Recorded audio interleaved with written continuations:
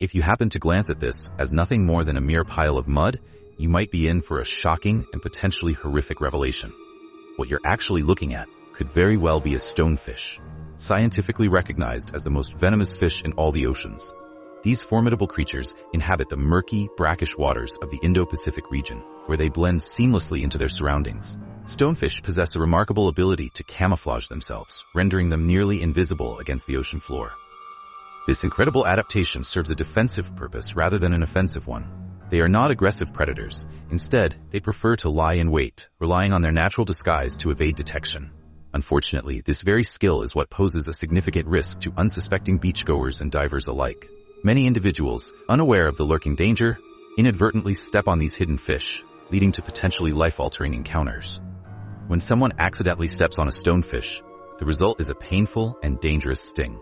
The stonefish is equipped with 13 sharp spines along its back, and each of these spines is capable of delivering its own potent dose of venom. This means that the more spines you come into contact with, the greater the amount of venom coursing through your body. Those who have suffered the consequences of a stonefish sting often describe the pain as excruciating and beyond imagination.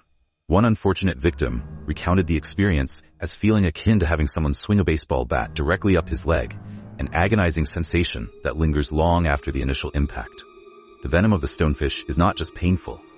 It can also lead to severe medical complications.